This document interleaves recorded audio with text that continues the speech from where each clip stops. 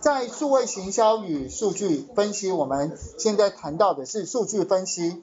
那在数据分析里面呢，我们刚刚已经把资料叫进来了，我们准备要进行所谓的数据分析，去看它的行为模式。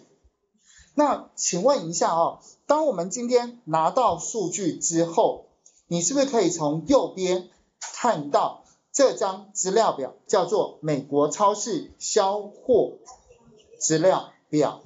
然后接下来里面有很多的栏位，其中有的栏位它前面有出现一个日历的符号，有的栏位它出现数据，就是 sigma。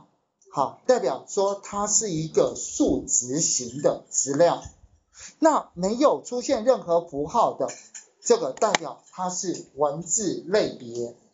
好了，请问一下，当我们要去做数据分析的时候，你是要取得有文字型、有数值型、有日期型，各式各样的资料。那在这里。如果你都没有数值型的资料，如何做数据分析？其实还是可以分析的，就是在分析它的次数，次数。那如果说你今天有数值型的资料，你就是在分析这些数值型。好，所以请问你现在有哪几有几个数值型的资料？一二三四五五个六个，总共六个，其中有一个它是错的。有看到区吗？各位知道什么叫行政区的代码？举例来说，北新北市的这边这边应该有一个叫做新浦吧？因为我刚刚是从新浦捷运站走过来的，请问这边是不是有一个行政区的代码？对吧？这个行政区的代码它是文字，它不是数字。可是为了方便起见，我们是拿数字来去取代这个类别。举例来说，还有很多地方会用到这件事。请问学号它是需要把它加起来，还是需要把它类别化？当是类别化，学号它不是数值。好，所以这点要请各位知道这个常识。再来，所以你看到折扣，对，它绝对是数值资料。还有，还有看到获利，还有编号，这边用一个假的数值资料。所以其实我们只有四个数值资料，所以这个类别，这个类别编号，它。是类别型的资料，它是文字型的资料，它不是数值。请问有没有看到销货额、销售额、销售额？还有这边应该有一个叫做利获利。请问一下，这边有很重要的折扣数量，就是销售数量，还有还有获利，还有什么？销售额？请问一下。我们只有这四个数字，对不对？你要去进行什么行为模式分析？这就是各位必须要去理解的。你分析的都是数据，因为数据分析嘛。有没有人针对文字类别来去做分析？有，我们第三次我们的语义分析就是要讲这件事。可是我们现在要看的是什么？现在要看的是。销货销售额，销售额的行为模式是什么？销售额的行为模式是什么？你觉得老板关心销售额，他会关心什么事情？销售额的行为模式是什么？有没有同学可以告诉我？各位想一下，销售额在做什么事情？销售额。是不是一个很重要的重点？我们希望销售额高，还是希望销售额低？高，对不对？我们当然是希望销售越高越好。为什么？为什么？销售额高才会赚到很多的获利，对吧？如果你没有把东西卖出去，会有获利吗？不会。好，那当前提是销售额要跟获利成正比，一般公司都是这样子了。如果成反比的话，那是不是就要赶快关掉？好，那请问一下，数量也有数量的行为模式，你们就要都去想，你们真的都要去想。好了，那我们接下来，我们就先来去观看一下。那它这边的一个类型，因为我给各位的资料都很干净，所以这边全部类型你都不用再去做特殊的设定。所以我们接下来我们就要先从画图开始讲起，毕竟数据分析它要画很多的图。第一张图，我喜欢在这个仪表板上面要告诉别人我要画什么图，所以一请点选常用。二文字方块，注意看哦，简单只有几个步骤，然后这个内容请输入，输入什么？我们现在要做什么行为模式分析？我们先做销售好了，销售，你做完销售，你才能去做利获利分析。好，例如说销售分析。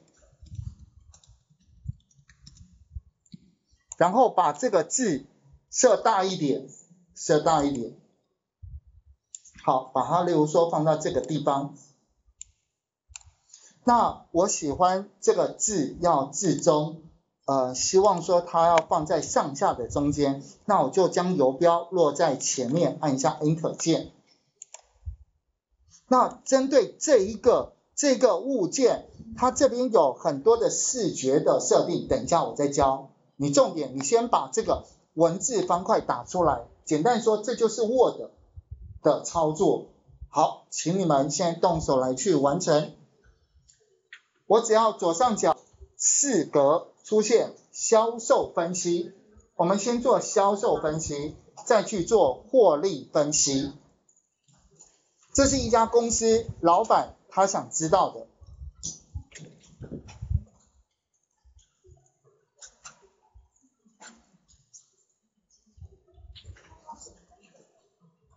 好，那我们可以发现，在销售分析这个地方，我们也可以把它稍微做一个格式设定。好，例如说这边第一个这边就是针对它，它不需要做什么筛选，可是你可以针对这一个文字方块的视觉效果来去做调整，做格式的设定。举例来说，你可以去设定它的这里要不要有背景。你愿有有些人喜欢把它的背景啊稍微调整一下，例如说背景改一个颜色，因为它是一个标题，所以它就设一个浅浅的一个呃颜色。再接下来这边有看到边界，哎，它把边界强调出来，有看到这个黑色边框，看你看你要怎么做这个美化，因为毕竟是视觉化分析。好。那就呃还有像例如说，你想不想加个加个阴影？阴影在这边有没有看到？这边是不是加了一个阴影？好，换你动手来去稍微玩一下，这只是格式的调整，你们就自己去设定。不过这不设定也无所谓。接下来。销售分析的格式，我们这个文字方块的格式设定讲到这边。请问一下，我们现在看到这个资料里面，看到这个资料里面，我们是不是题目是美国的超市，美国超市的一个销售分析？请问？美国总共有多少州？就是你会先做一个基本的描述性统计，所以我会先把它的多少周呈现出来。好，所以我会一用卡片，卡片，卡片在这里，第四栏的第四列的这个工具。那这个卡片里面，它只要放一个栏位，什么栏位呢？周。可是当你勾选勾选这个州，第二个动作就是勾这个州。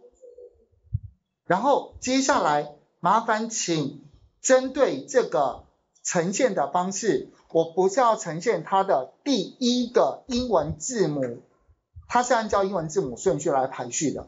第一个州就是阿拉巴马州。好，我要讲的是它这里。往下的三角形，第三个动作是点往下的三角形，它可以设定什么叫做计算次数？计算次数就是去计算阿拉巴马州总共出现多少次。那什么叫做计数相异？相异的话就是阿拉巴马州如果出现五十次，它还是只算一次。这样子的话，我们就可以知道我们总共所有资料拿到的。有多少周的资料，所以要点计数相异。所以这边可以看到，它只有只有四十九周，你知道少了哪一周吗？少了哪一周？你们知道吗？在那个美国本岛的外面，夏威夷，可以吗？大概可以了，这这样知道吗？好。他的意思就是说，他总共有四十九周，四十九周。你你记不记得我们在做统计的时候，我们也是先告诉别人我们的描述性统计，这个四十九就很像是在做这件事。